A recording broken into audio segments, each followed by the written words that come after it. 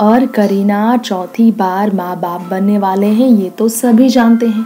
और ये भी सभी जानते हैं कि करीना कपूर खान की ये सेकेंड डिलीवरी मार्च और फैब के महीने में होगी।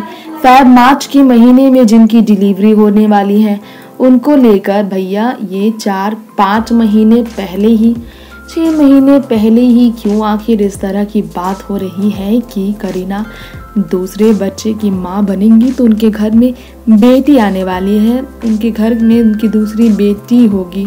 यानी कि तैमूर के बाद तैमूर को भैया करने वा, कहने वाली वो तैमूर अली खान पटौदी की छोटी बहना होंगी।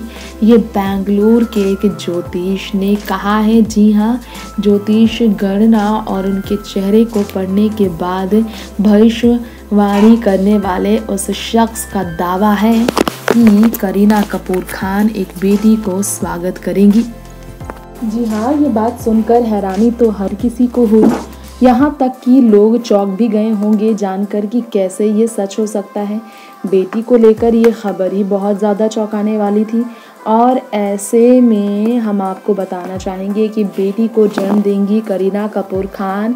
ये कहने वाले बेंगलुरु के उस गुरु का नाम, एक पंडित का नाम बताया जा रहा है, जगन्नाथ गुरु जी जिन्होंने भविष्यवाणी की है। खैर पेरेंट करीना कपूर तो ऑलरेडी है, तैमूर के अलावा सैफ की एक बेटी है, सारा, जो कि अमृता सिंह और सैफ की शादी के बाद हुई।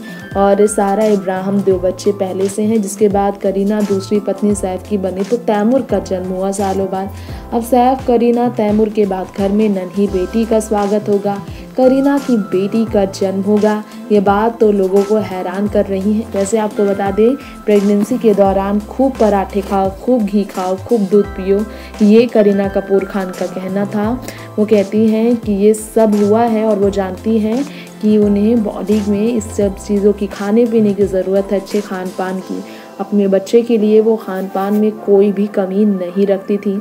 इसी कारण से आज तैमूर इतने क्यूट इतने मासूम हैं कि बॉलीवुड के सबसे बड़े किड स्टार वो बन चुके हैं और उनकी पॉपुलैरिटी का आप जानते ही हैं, अंदाज़ा लगा ही सकते हैं क्योंकि पूरे इंडिया ही नहीं ऑल ओवर वर्ल्ड में भी Taimur cute cute little girl kid star के बीच चर्चा में रहते हैं।